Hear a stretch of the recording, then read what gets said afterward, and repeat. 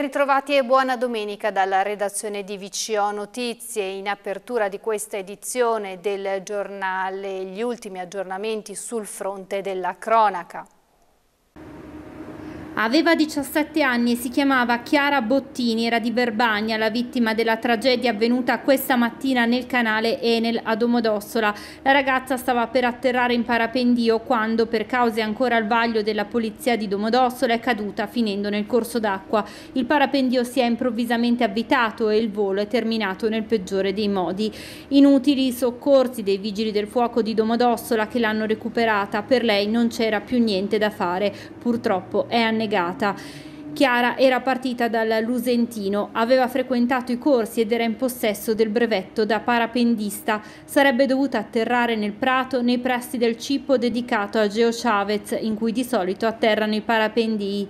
Tragedia nella tragedia. Ad aspettarla all'atterraggio c'era il papà che ha assistito impotente alla tragedia. Chiara frequentava il liceo scientifico al Cavalieri di Verbagna.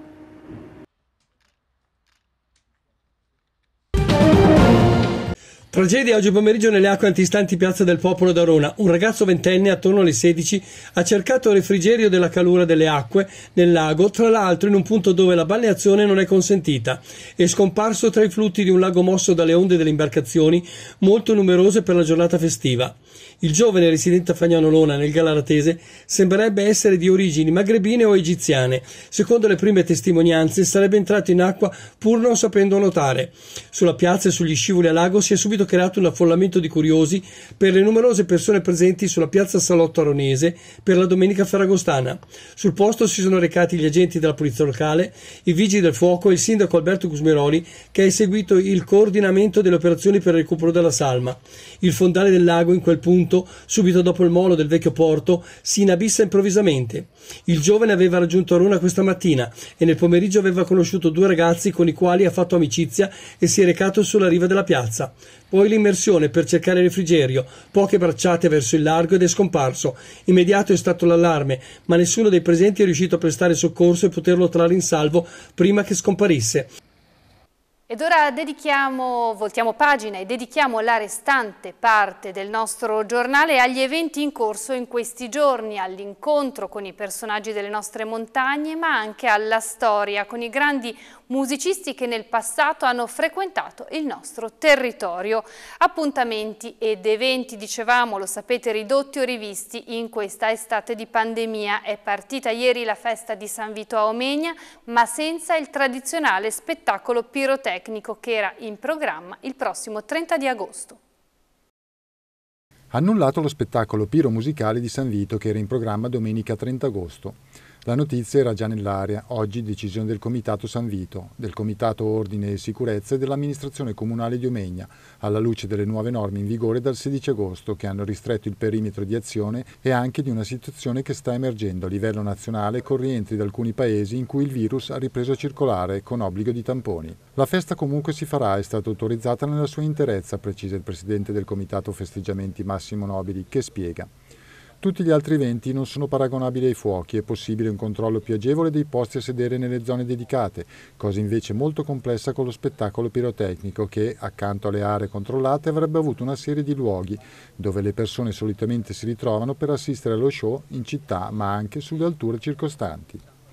Nobili parla di una decisione presa a malincuore ma inevitabile per le nuove regole e per la salvaguardia della salute, già perché le serate piromusicali sono una tradizione radicatissima nella festa di San Vito. Il presidente del comitato rimarca che nel momento della stesura del programma questo non era prevedibile. Allora le condizioni c'erano per lo show, sottolinea, e conclude ringraziando l'azienda ovignese GFG Piro di Fabio Graziani, che con il comitato aveva preparato uno spettacolo peraltro legato al complesso momento storico che stiamo vivendo, con musiche che parlavano di vita e che ha compreso la situazione. La festa omignese, edizione numero 117, inizia domani. Ricordiamo la prenotazione per partecipare agli eventi sul sito www.prenotasanvito.it. Ed ora parliamo dei personaggi delle nostre montagne. Incontro con Marco Zanelli, per oltre 30 anni gestore del rifugio Andolla in Alta Valle Antrona. A fine stagione lascerà. Gli abbiamo chiesto come affronterà questo nuovo futuro, ma anche un po' di ricordi in tanti anni in vetta tra cielo e terra. Con che spirito affronta la nuova vita che l'attende dopo quest'ultima stagione qui? Sicuramente è un grosso cambiamento, ma continuerò a fare questo lavoro con passione, in un rifugio a una quota più bassa. Eh, voglio approfittare di questa occasione per ringraziare tutti i, i volontari del CAI, poi voglio ringraziare il Soccorso Alpino di Villa d'Ossola, il Soccorso Alpino della Guardia di Finanza e, e tutti i miei, i miei familiari e tutti i collaboratori che ho avuto in questi anni. Il momento più emozionante di questi 32 anni in rifugio? Ce ne sono stati tanti e belli. Eh, per esempio un soccorso riuscito sul pizzandolla di una persona in difficoltà e dopo una lunga attesa qua al rifugio eh, è andato tutto bene. Hai mai avuto paura? No, eh, sono stati momenti un po' difficili, come una, ad esempio una discesa una volta a Cheggio dopo una lunga nevicata ai primi di ottobre. Che caratteristiche deve avere, secondo lei, il nuovo rifugista? Secondo me il nuovo gestore deve cercare di dare continuità a tutto quello che è stato fatto in questi anni e, e cercare di migliorarlo. Sono cambiati il pubblico, le loro aspettative e il loro modo di approcciare la montagna in questi decenni? Sì, il rifugio prima era un punto di partenza per ascensioni e vie alpinistiche. Adesso è diventato per la maggior parte delle persone un punto d'arrivo. Eh, si notano persone meno preparate alla montagna. I primi ricordi all'Andolla? La mia figlia che giocava qua fuori con i bambini, che era piccolina, c'era il pastore con le mucche, le settimane dell'alpinismo giovanile, le settimane organizzate dal CAI, eh, la prima volta che si vedevano i stambecchi, poi la, la festa di chiusura e la, la corsa anche che John Dolla, cose belle. In questi anni ha incontrato qualche personaggio o una persona che l'ha colpita? Sono passate tante persone che per un verso o l'altro che mi hanno colpito. Cito su tutti l'alpinista Loretan, uno svizzero che, stato, che ha fatto tutti i 14 8000, è stato il terzo dopo Mesner e Cucuzza. E quello che mi ha colpito tanto è stata la sua modestia. Com'è vivere all'Andolla durante tutta l'estate? Eh, ti deve piacere perché ci sono momenti belli, quando il tempo è brutto, è un lavoro che lo fai per passione.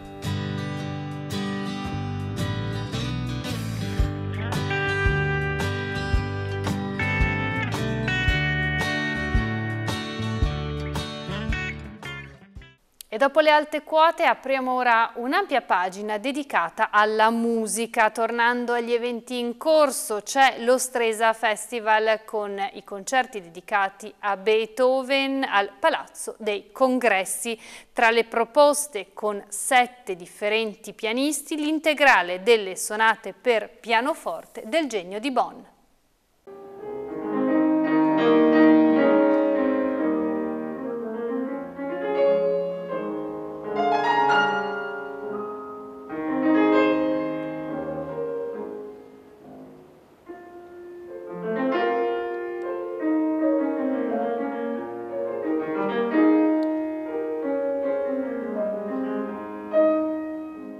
Stato il pianista tedesco Alexander Lonkisch ieri sera al Palazzo dei Congressi ad accompagnare il pubblico dello Stresa Festival lungo il cammino che porterà nel corso della Kermesse all'esecuzione integrale delle 32 sonate per pianoforte di Beethoven, con il coinvolgimento di sette pianisti noti e di talento. Lonkish ha eseguito la sonata in La bemolle maggiore, marcia dalla grande teatralità, e poi la sonata in Mi minore e la Hammerklavia, due opere profondamente differenti, la prima trasparente e malinconica, la seconda dal virtuosismo altissimo, anzi il movimento conclusivo è un autentico spauracchio per gli interpreti perché sfrutta fino in fondo tutte le possibilità del pianoforte.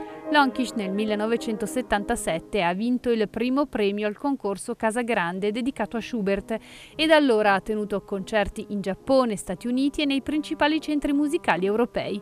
Un importante ruolo svolge inoltre la sua attività nell'ambito della musica da camera.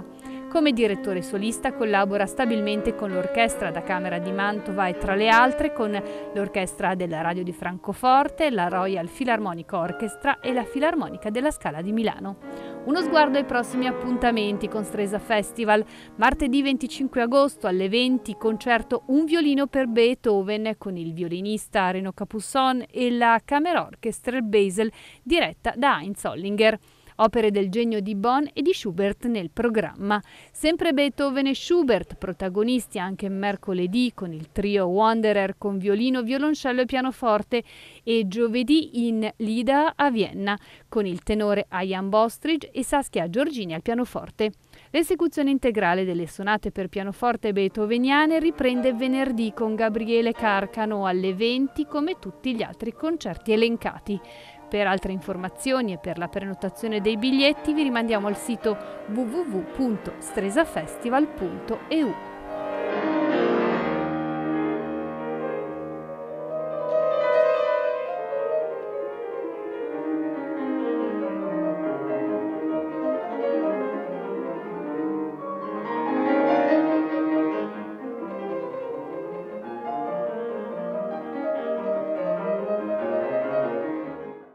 Estresa e il Lago Maggiore sono luoghi da sempre scelti da artisti e musicisti. Vi proponiamo un approfondimento con il professor Raffaele Fattalini per scoprire proprio i tanti grandi musicisti che nella storia hanno frequentato il Verbano.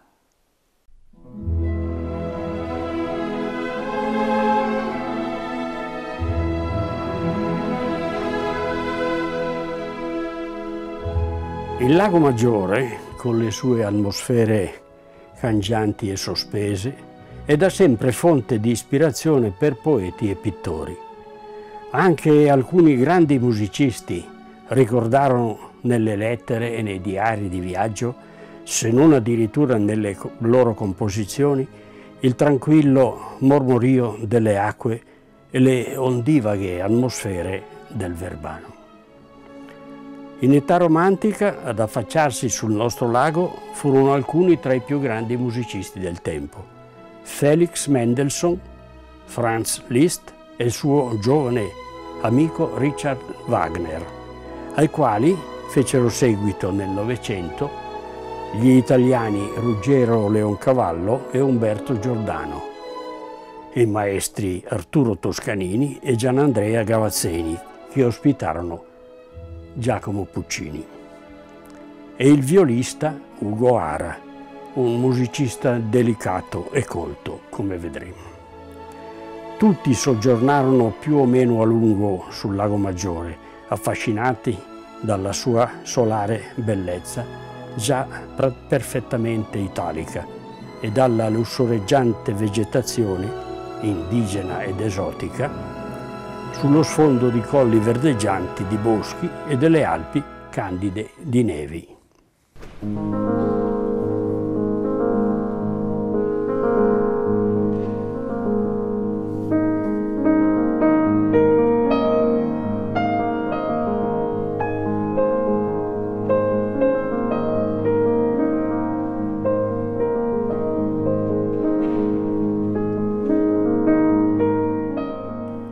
Franz Liszt aveva una grande predilezione per i laghi, per le loro atmosfere sospese, propizie al sogno, all'immaginazione, quasi all'estasi. Essi, scrisse, sono in armonia con l'atmosfera di sogno che mi è abituale. I pensieri segreti della mia anima si aprono dolcemente nel mormorio discreto delle loro onde e spesso mi sento rasserenato. E il titano del pianoforte era giunto sul lago Maggiore in compagnia della giovane contessa Marie Dagoult, pochi giorni dopo il Ferragosto del 1837. provenivano dalla Svizzera, dove avevano vissuto la loro storia d'amore tra le Alpi e i laghi. Le rive del lago ci trattennero a lungo, ricordò Marie nei suoi memoir. Franz compose per me una malinconica armonia che imita il sospiro delle onde e la cadenza dei remi. È il celebre Lac de Wallestadt, di cui ora ascoltiamo un brano.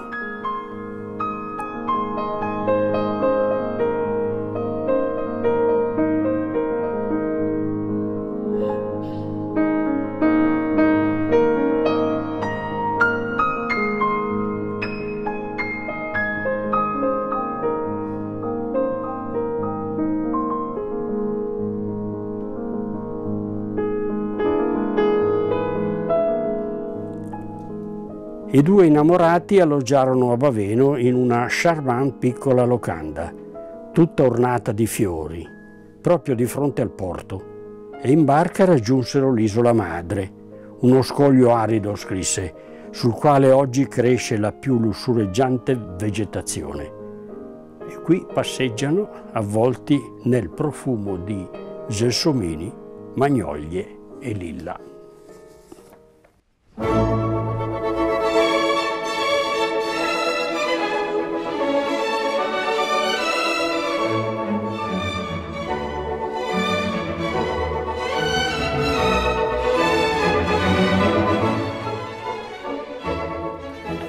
Pochi anni prima era stata la volta di Felix Mendelssohn Bartholdi, che vi giunse alla fine di luglio del 1831. Il 22enne compositore era al termine del suo lungo viaggio in Italia, compiuto anche per consiglio di Goethe, di cui, nonostante la differenza di età, era diventato amico. Nel nostro paese Felix Mendelssohn aveva iniziato a comporre la Sinfonia italiana, la cui musica, diceva, non l'ho trovata nelle opere d'arte, ma nelle rovine, nei paesaggi, nella gaiezza della natura. Dall'Isola Bella scrive ai genitori. Al solo leggere la data della mia lettera, ne sono sicuro, voi sentirete un profumo di aranci, vedrete un cielo azzurro, un bel sole, un lago liscio come uno specchio. Non è affatto così. Fa un tempo orribile, piove rabbiosamente e di tanto in tanto il tuono riecheggia in lontananza. Il lago è grigio e non sento il più debole profumo di aranci. Per fortuna il tempo cambia e cambia anche l'umore del compositore. Torno in questo momento dall'isola madre che ho trovato veramente magnifica. È larga, piena di terrazze, di filare di limoni e di boschetti sempreverdi. Il tempo finalmente si è un po' rimesso e la grande casa bianca che si trova sull'isola e le terrazze che la precedono producevano un effetto affascinante. Questo è davvero un paese unico, conclude. E vorrei tanto portarvi a Berlino una boccata dell'aria che respiravo nella barca.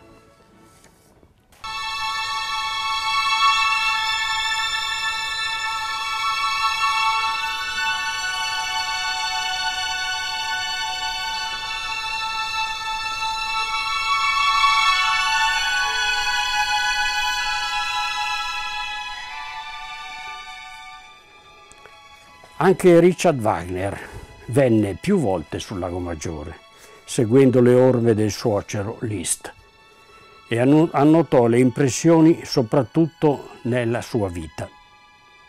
Nella bella stagione del 1852, poco dopo il suo 39 compleanno, terminata la Valchiria e dedicato il Lohengrin a Liszt, soddisfatto dei miei lavori, scrisse nel suo diario, decise di compiere una grande escursione sulle Alpi, sempre rigorosamente a piedi. che l'avrebbe portato a sconfinare in Italia attraverso il passo del Gries fino al Lago Maggiore. Arrivò a Baveno che il sole era ormai tramontato. Tuttavia c'era ancora luce bastante perché gli apparissero le tanto agognate isole Borromee, virgolette, che emergono lietamente dal lago Maggiore. In albergo, l'Hotel della Poste, che oggi è sede di una banca, a Baveno, l'impazienza di quello che avrei goduto l'indomani, scrisse, non mi lasciò nemmeno dormire. E il giorno dopo, in una mattinata splendida, in cui poté vedere anche il Monte Rosa rispecchiarsi nel lago, finalmente poté contemplare a suo agio lo spettacoloso Verbano. La visita delle isole mi incantò talmente che non potevo nemmeno rendermi conto come fosse arrivato a tanta delizia e che cosa adesso ne dovessi fare. Dall'inizio del Novecento il Lago Maggiore sembra diventare la villeggiatura e addirittura il soggiorno prediletto dei musicisti, alcuni dei quali di fama mondiale.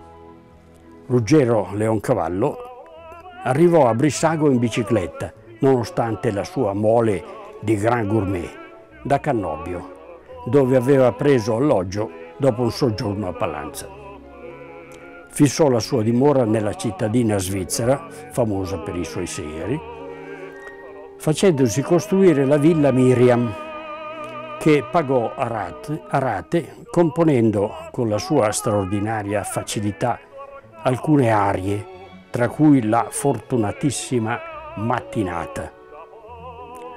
Fu nella primavera del 1904 che per la prima volta al mondo sulle onde del lago Maggiore si levò come in volo la celebre melodia de L'Aurora di bianco vestita.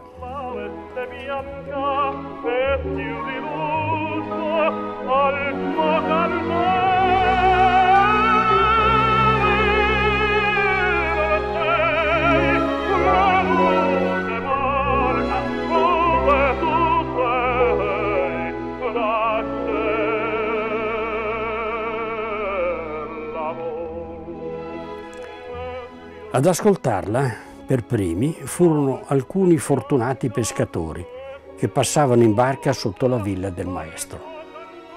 Il canto usciva da una finestra spalancata sulla luce del lago. La voce, impressionante per limpidezza e potenza, era quella di un giovane tenore emergente, il trentenne Enrico Caruso, che era venuto apposta a Brissago per provare la nuova aria del maestro.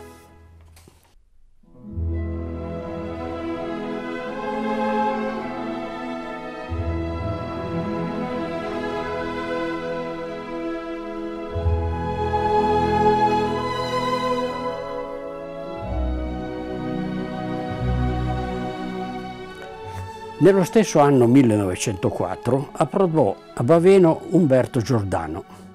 Anch'egli prima aveva soggiornato a Pallanza, a Villa Montebello, divenuta poi dépendance dell'Hotel Majestic.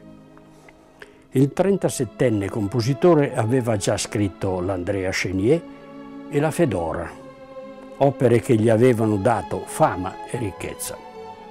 A Baveno, coi soldi della moglie Olga Spatz, figlia di facoltosi albergatori di origine svizzera e proprietari del lussuoso Grand Hotel de Milan a Milano, acquistò la Villa Fedora con il suo bel parco, oggi giardino pubblico. Per vent'anni, dal 1904 al 1924, il compositore visse e lavorò nella pace di questa favolosa villa davanti agli incanti delle isole Borromee, come ha scritto il critico musicale Giulio Gonfalonieri. Fu un periodo felice, allietato dalle visite di Giacomo di Giacomo Puccini, Guglielmo Marconi e dello scultore Medardo Rosso. Una lapide dettata dal maestro Gianandrea Gavazzeni è affissa sotto il portico del municipio nella raccolta piazzetta di fronte al porto.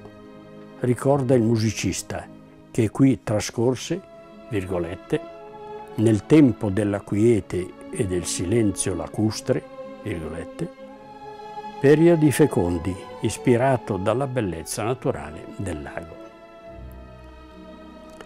Mattinate scintillanti nel sole che saliva dai monti della Svizzera, berigi colmi di luce e gravati dal silenzio di una pace solenne, rinfrescati dalla febbrezza leggera, tramonti un po' drammatici, quando il sole si metteva a rosseggiare dalle parti del Mottarone e poi si incupiva rapidamente per far posto al luccichio delle primissime stelle.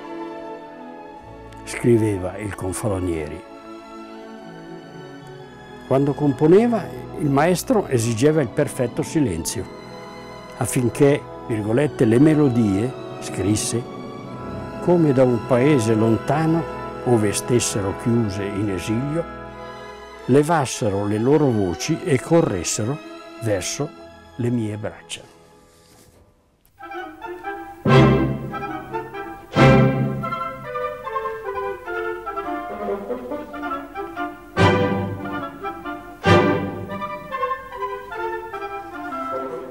Anche il maestro Gianandrea Gavazzeni fu un fedele ospite di Baveno di cui fu nominato cittadino onorario. Per oltre 50 anni infatti trascorse le villeggiature estive nella villa Polli di proprietà della moglie.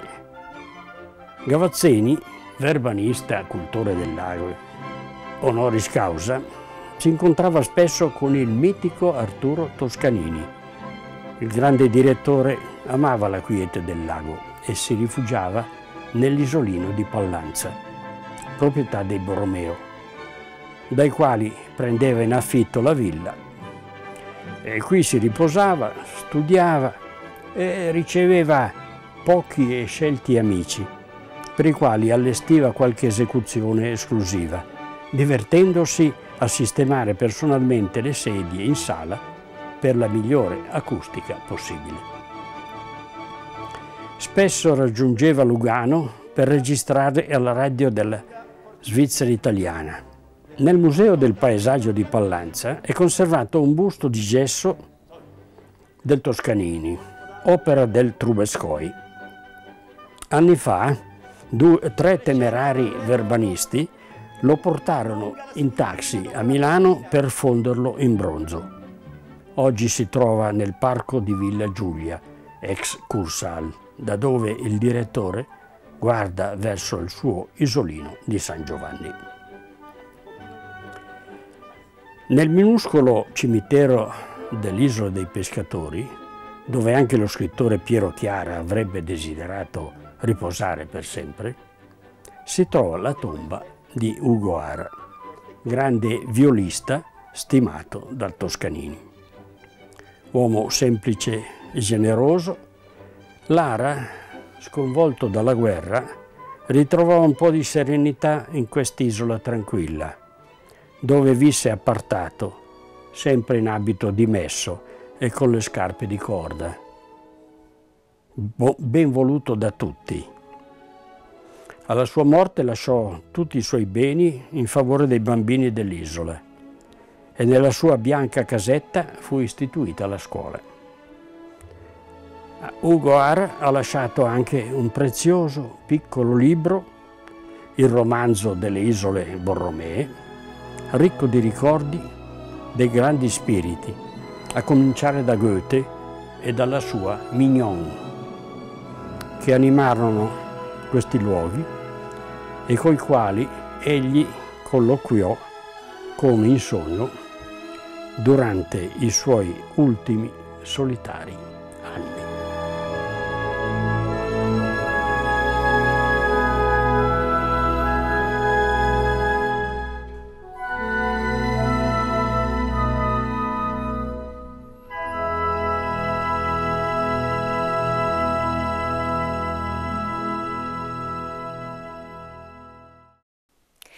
chiude qui questa edizione della domenica del nostro giornale. Per tutti gli aggiornamenti vi rimando al nostro sito internet vcoazzurratv.it e alle nostre pagine social. Grazie per essere stati in nostra compagnia, buon proseguimento con i nostri programmi.